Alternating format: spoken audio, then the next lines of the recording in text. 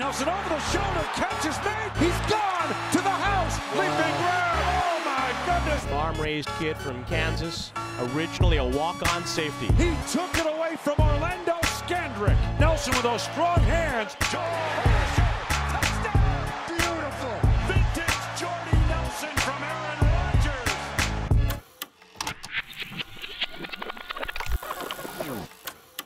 So I grew up in rural Kansas, went to a small 3A school here, so I had graduated with like 70 kids in our graduating class. Grew up on a farm. I, I credit a lot of my work ethic through all sports and everything that I do. I think from farming, it, it taught me a lot about responsibility, a lot about working hard, depending on one another as a family, Jordy Nelson for the touchdown. knowing that you had to do everything to the best of your ability because people were relying on you. Definitely translated over to sports. Touchdown. Jordy Nelson again. He slipped away again. I decided to walk on at Kansas State. The guy who gave me the thought or the, the dream that it was possible was a guy named Jon McGraw. He was about five, six years older than myself. Went to Riley County High School, same high school I went to. Walked on at K State, ended up earning a scholarship, became a captain, got drafted by the Jets in the third round. So he kind of paved the way and gave us the idea that it was possible. I walked on as a safety, but then after two seasons at K State, they switched me over to receiver and had an incredible senior year. And as they say, the rest is history. How about Jordy Nelson out of Kansas State? A, a 4.49 unofficially. This guy had 122 receptions. 122. Unbelievable production. Leading up to the draft, talking to my agent, we were just waiting to see. We had no idea, and obviously, it only takes one team to like you. Sitting there at my mom's restaurant here in Leonardville, Kansas, uh, watching it all with a bunch of family and friends. When my phone rang, the draft was actually in a commercial break. I didn't even see my name get announced. It just came across the bottom of the screen. Not, that, everybody around here is going, who's that? This kid is really fun. He's still raw, but at the Senior Bowl, he woke everybody up. a week later you're flying up there for mini camp and then OTAs and you kind of sit back and then understand the organization you're going to, the history that it had. I think the year before they lost in the NFC Championship game, so a very good team. I've always wanted to be a Packer. I think I always will be a Packer. I did then obviously understand that they're going through the transition between Brett Favre to Aaron Rodgers. It's been a difficult situation for all parties involved. There was a lot going on, but obviously extremely excited and look forward to going to Green Bay and understanding for my wife and I it was going to be a great situation for us to move to. Uh, Green Bay, Wisconsin is obviously very similar to rural Kansas, and we weren't going to some huge big market that we'd be overwhelmed not only by the adjustment into the NFL, but also a huge city that would maybe put us a little bit more out of our comfort zone.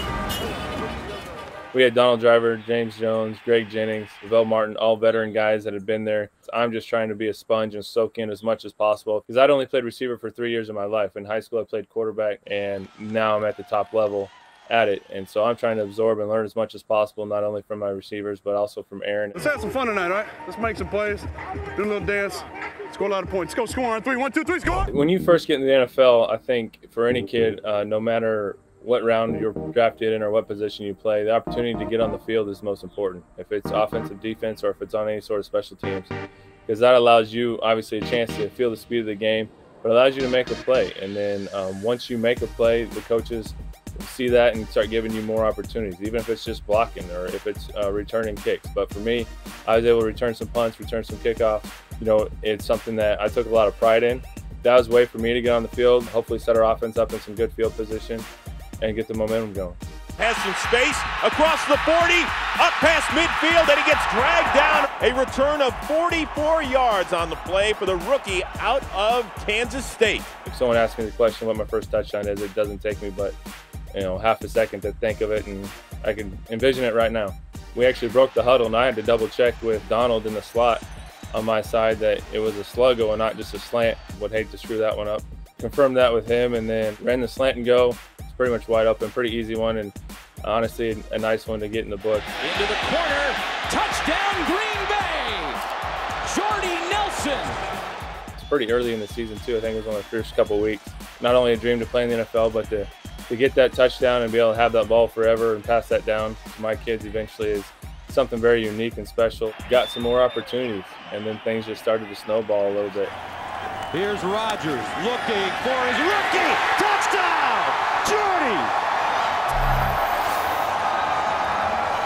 We started out in the wild card round against Philly, and I don't even know if I caught a ball. And then Atlanta, everyone on our offense had a heck of a game. Aaron played a ridiculous game offensively. I think we were about as perfect as you could you could be in that game. And it carried over into Chicago, and just were able to make some big plays, get some opportunities in the Super Bowl. The Green Bay Packers' late season surge has put them one victory away from yet another world title. Pre-game was a little crazy. I mean, there's a lot of hoopla going on, a lot, a lot of things going on, but you try to stay as much to your routine as possible. But once the, the, the ball gets kicked off, I know everyone says it and people probably don't believe but it, but it's just football. Things happen too fast for you to understand to truly understand to me the moment or what's going on. Like you're your play to play. You have 10, 15 seconds in between plays to reset and go on to the next one. And now driver limps off. Unfortunately, Donald was down with an ankle sprain early in the game, and that took me from playing maybe 10 to 20 plays to pretty much playing the whole game. And that's why you got to be prepared. That's why, you know, I knew every position because no matter which one needed a break or which one happened to get injured, I was going to be able to go in and play all those positions. And if it's one ball or if it's nine catches and playing a whole game in the Super Bowl and making memories that way, you got to be prepared to go do it. So my first touchdown in the Super Bowl was our second possession. We're, having a good drive, running the ball, maintaining possession, and then we actually call a screen play. We break the huddle, line up. Come on, Jordan. Come on, baby. So my role to begin with is just the outside release and run my guy off down the field so we can run a screen to my side. As I line up, I'm looking in at the ball. Aaron looks out at me and taps his helmet which gives me the sign run to win and expect the ball to be thrown. We talked about it throughout the week about matchups out there and which ones he felt comfortable with. And he wanted to take advantage of them when we had those chances. So he let it go. I was able to get on top of the, the DB, come down with it in the end zone. Jordy Nelson, touchdown, Green Bay. Dream come true to be able to catch a touchdown in the Super Bowl. Because the funny thing is, earlier in the year, I missed that exact same signal in a home game I stopped on the route and he threw the go ball. We'll just say I learned my lesson from there and was not going to let it happen again. The Green Bay Packers are world champions. Here's the snap. Rodgers looking left, looks the middle, throws the right, diving grab, touchdown, Jordy Nelson. Going into 2011, after we won the Super Bowl, our confidence was sky high. We had a lot of the guys back. The chemistry on offense was great. It was one of the most incredible years I was ever a part of went 15 and 1, set all the offensive records for Green Bay. Just the, the amount of guys that we had at receiver. We could go four or five receivers deep. We just created so many mismatches. And it's caught for a touchdown. Man, they make it look easy. It has simply been a monster year, and the combination of those two record-breaking numbers. Spins, takes the handoff this time, throws it over the middle. Got Nelson. He's to the 35, 40. Running after the catch was something we took a lot of pride in in our room because again, it goes back to making the most of your opportunity, and that's one thing you can't control. You can't control if the ball is thrown to you or not, but you can control the way you run your route, and you can control what what you do after you catch the ball.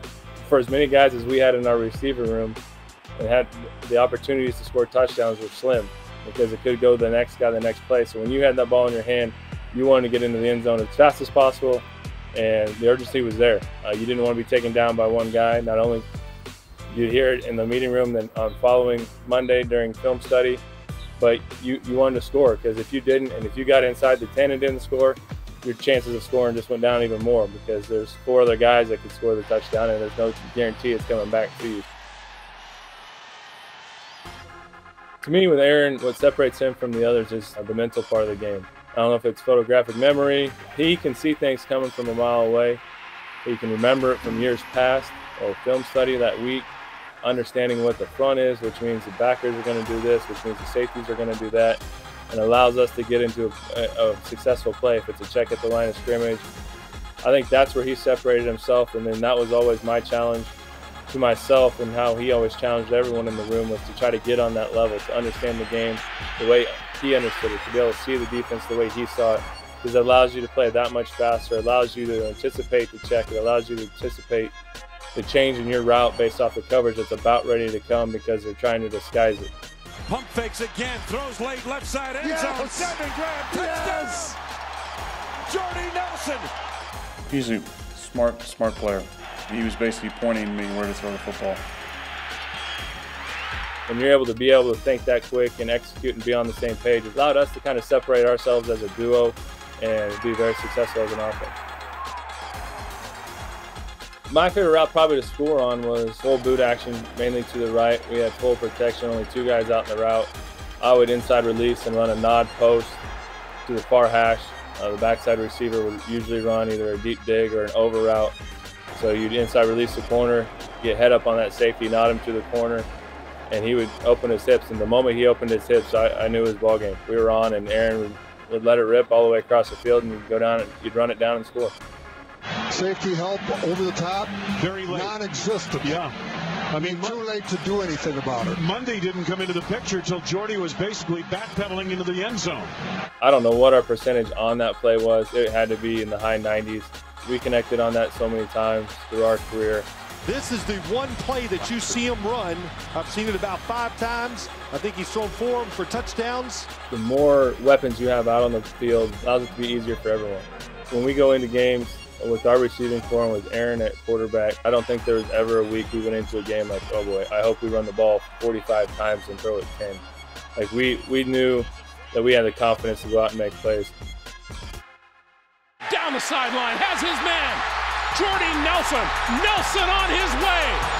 80 yards and the touchdown. So in 2014, I think we were just in rhythm. They're going to go for Nelson again, and he wins it. With Randall out there playing in the slot, occupying the middle, attracting the safeties allowed us to open up on the outside. And then once the safeties started creeping outside, Randall would go to work on the inside. So it was a great combination and great chemistry that we had out there. We both had over 1,200 yards and double-digit touchdowns, and I believe the first duo in NFL history to do that is something I take a lot of pride in. When you start saying first time in NFL history, you know you did something special, and to be able to do it with Randall, who's a great guy and great friend, it was it was a lot of fun. Rodgers pulls it back, has Nelson. Nelson with a catch.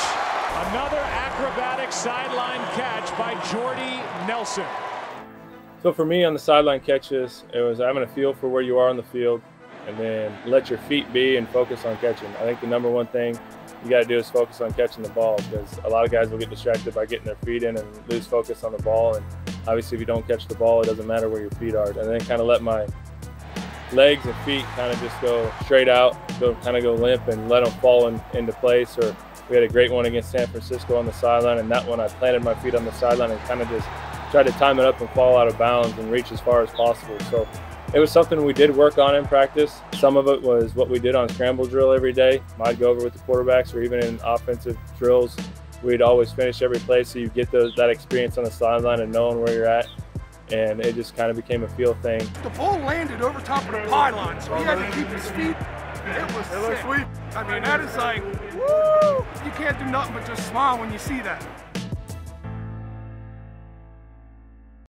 Brees with an end zone shot, a beautiful catch. Going into 2015, I was super excited. Coming off my Pro Bowl season, setting the record for single season uh, receiving yards for the Packers and a lot of expectations and high hopes going into that following year. Way to make plays, bro. Second preseason game at Pittsburgh, caught a basic route. Just I might have even been like a 10 yard or 8 yard stop route. Jumped up to catch the ball.